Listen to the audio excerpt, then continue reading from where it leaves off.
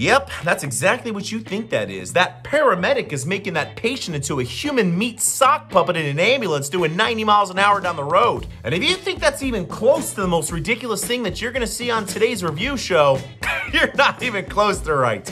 She's having trouble breathing. Give me a bait hook, size five. All right, so some trouble breathing, respiratory problem. He's asking for a bait hook, so he's probably gonna do some sort of needle decompression or something like that for collapsed lung. What's it for? A little frontline medicine. Our tongue is blocking the right way, so we're gonna put the hook through our tongue and lip. Wait, what? No, that is not frontline medicine. That's like the Hills Have Eyes medicine or Texas Chainsaw Massacre medicine. You know, you know what you could do to get the tongue off the back of her throat? Put her in the recovery position. Real simple. Put her on the left-hand side. Magic. No anesthetic, huh? Lo siento. Oh, he speaks Spanish. Lo siento. That's good. That means I'm sorry in Spanish. He should probably learn another phrase. Soy un idiota.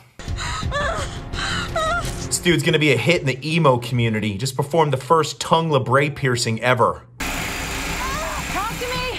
Saw through a full two centimeters so far, but now we wait. What do you mean now we wait? Susan, the saw heats the metal as it cuts. When it gets too hot, we have to stop, wait for it to cool down. Ah, you guys are 100% right. I mean, I wouldn't want that metal to get too hot when you're cutting it with that sawzall. I mean, I wish you had some kind of liquid stored in the middle of those trucks that you're driving that's used to cool down hot stuff.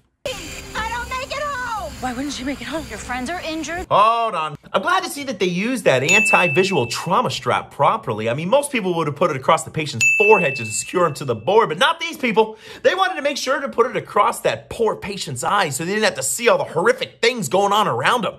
That's grade A work, guys. Grade A. Somebody get those sparks! We can't afford an explosion. Standing by. Holy crap, that was incredible. Most fire departments across the United States need some kind of K-12 to open up the hoods, but not them. She came swinging in with the shiniest pick-headed axe I've ever seen and ripped that hood open faster than I can open up my generic box of Lucky Charms.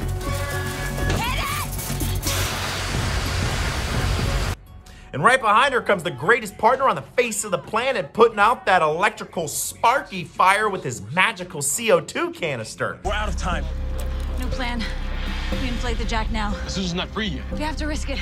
Susan's so close, she's stable, but Carla can't wait.